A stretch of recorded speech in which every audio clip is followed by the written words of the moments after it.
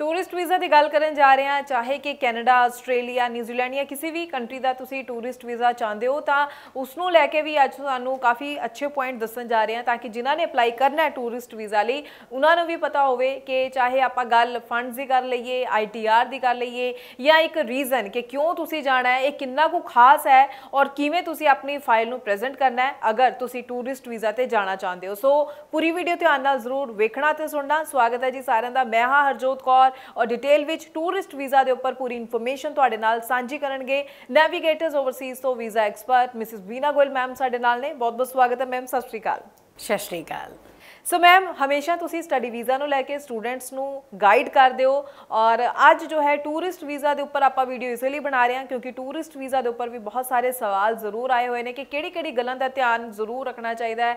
Reason ਦੀ ਗੱਲ ਆਪਾਂ ਕਰੀਏ, ਜਾਣਾ ਹੈ, ਉਹਦੇ ਚ ਆਪਾਂ ਮੈਂਸ਼ਨ ਕਰਨਾ ਹੈ, ਕੀ ਮੈਂਸ਼ਨ ਕਰਨਾ ਚਾਹੀਦਾ ਹੈ, ਕਦੋਂ ਸਹੀ ਟਾਈਮ ਹੁੰਦਾ ਅਪਲਾਈ ਕਰਨ ਨੂੰ ਲੈ ਕੇ ਆਈਟੀਆਰ ਤੇ ਫੰਡਸ ਨੂੰ ਲੈ ਕੇ ਵੀ ਬਹੁਤ ਸਾਰੇ ਸਵਾਲ ਨੇ ਕਿ ਕਿਵੇਂ ਸਾਨੂੰ ਸਹੀ ਢੰਗ ਨਾਲ ਅਪਲਾਈ ਕਰਨਾ ਚਾਹੀਦਾ। ਓਵਰਆਲ ਜ਼ਰੂਰ ਇੱਕ ਇੱਕ ਪੁਆਇੰਟ ਜੋ ਹੈ ਕਲੀਅਰ ਕਰਿਓ।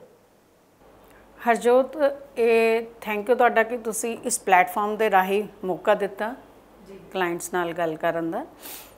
ਜ਼ਿਆਦਾਤਰ ਜਿਹੜਾ ਕੈਂਡੀਡੇਟਸ ਹੈ ਅਪਲਾਈ ਇੱਧਰ ਉੱਧਰ ਕਰ ਲੈਂਦੇ ਟੂਰਿਸਟ ਵੀਜ਼ਾ ਔਰ ਉਹਨਾਂ ਦੀ ਰਿਜੈਕਸ਼ਨ ਅਸੀਂ ਬਹੁਤ ਦੇਖੀ ਆ। ਜੀ।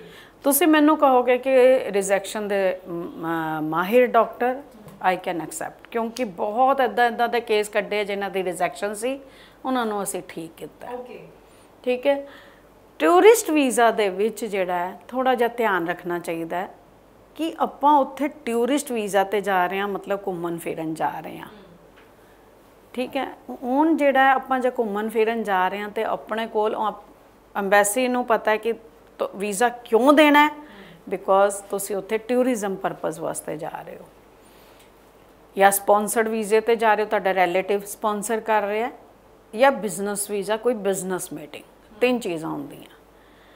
ਹੁਣ ਜੇ ਬਿਜ਼ਨਸ ਵੀਜ਼ਾ ਤੇ ਜਾ ਰਹੇ ਹੋ, ਤੁਹਾਡੇ ਸਾਰੇ ਬਿਜ਼ਨਸ ਦੇ ਪੇਪਰ ਲੱਗਦੇ ਆ। ਜੇ ਟੂਰਿਜ਼ਮ ਬੇਸ ਜਾ ਰਹੇ ਹੋ, ਤੁਹਾਡੇ ਫਾਈਨੈਂਸ਼ੀਅਲ ਇੰਨਾ ਅੱਛਾ ਹੋਣਾ ਚਾਹੀਦਾ ਹੈ ਕਿ ਤੁਹਾਡੇ ਕੋਲ ਮਤਲਬ ਪੂਰਾ ਘੁੰਮਣ ਫਿਰਨ ਦਾ ਇੰਨੀ ਆਪਣੀ ਕੈਪੈਸਿਟੀ ਹੈ ਫਾਈਨੈਂਸ਼ੀਅਲੀ ਆਪਾਂ ਇੰਨੇ ਸਾਊਂਡ ਔਰ ਜੇ ਆਪਣਾ ਉਧਰ ਕੋਈ ਰਿਲੇਟਿਵ ਸਪਾਂਸਰ ਕਰ ਰਿਹਾ, ਉਹਦੇ ਇਨਵੀਟੇਸ਼ਨ ਆਏਗਾ।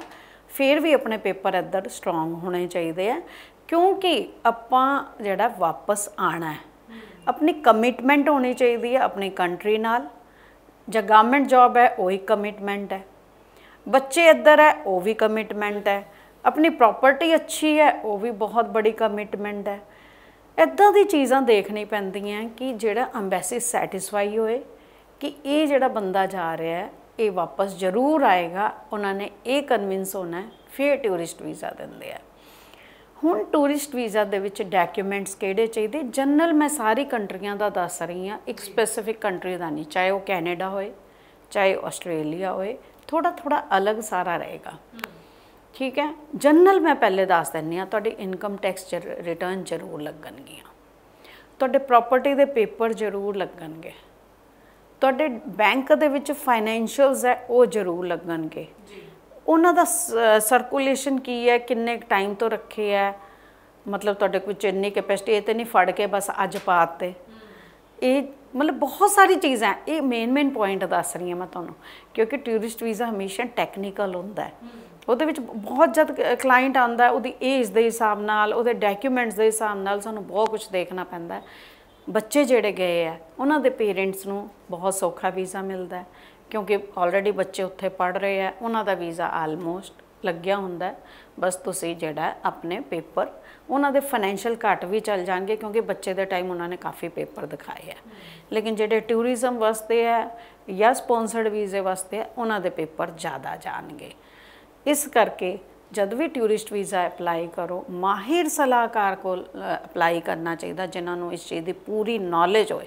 ਇਹ ਨਹੀਂ ਕਿ ਤੁਸੀਂ ਫਾਈਲ ਦੀ ਆਪਣੀ ਟਰਾਈ ਮਰਵਾ ਲਈ, ਔਰ ਜੇ ਟਰਾਈ ਇੱਕ ਵਾਰੀ ਮਾਰੀ, ਗਲਤ ਪੇਪਰ ਲੱਗ ਗਏ, ਫਿਰ ਤੁਹਾਡਾ ਨੈਕਸਟ ਟਾਈਮ ਵੀਜ਼ਾ ਲੈਣਾ ਮੁਸ਼ਕਲ ਹੋ ਜਾਂਦਾ ਹੈ।